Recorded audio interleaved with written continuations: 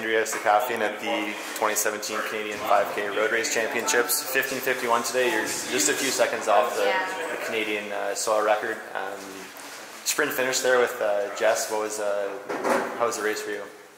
It was good. I mean, I'm a little bummed to miss the record by so little. Um, but it was a great race. Like Jess was super gritty and like tried to gap me a few times, I think, and there was like a lot of back and forth. So I think it was like a good race. Um, and obviously, I'm like really happy to come away with the win again. I know you just you're coming off London 2017. I know you wrote you wrote for us that you're hoping to. It was difficult to continue the season for uh, another few weeks. How is uh, Yeah. how, did, how did your body respond to that? I mean, there's no de- denying that I'm really tired, and I'm like really excited for this break. Um, but you know, we like put so much work into getting really fit, and then we have this opportunity to run a national championship. And for me, like I train in Toronto, so I always try to just like hang on for that extra month. And like it's it's tough, but just switching to the roads kind of like is a bit refreshing. So I'm tired. I'm actually like really glad this is over, and now I get to take a break.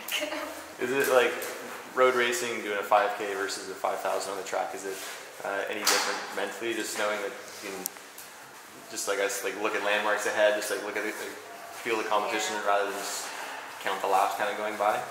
Um, it's really different for me. I like my comfort zone is definitely the track. I've never really like run that much on the road, so I actually find it quite difficult because on the track you constantly have like feedback from the laps and like the the time, um, and just like you're kind of just closer to your competitors. But on the road, I feel like we get more spread out.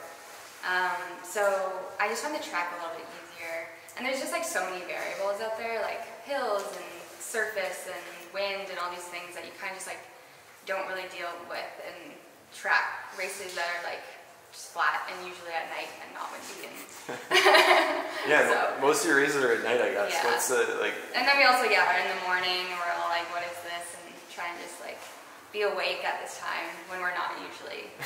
we race like actually 12 hours later. Yeah, so.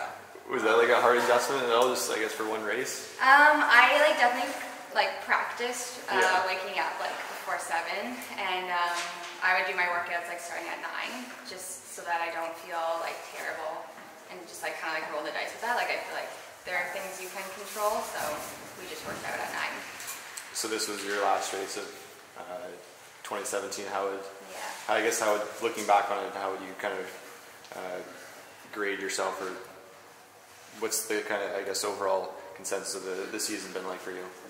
Um, I would give myself like a solid A or A minus. Um, there was like a lot of good.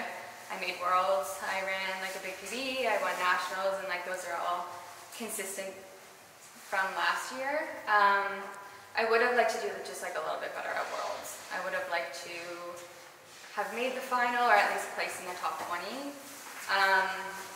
I think I was like a little bit fitter than 1508. So I, I know what I have to do next year to get there. So I think it's it was good. I learned a lot. I ran faster.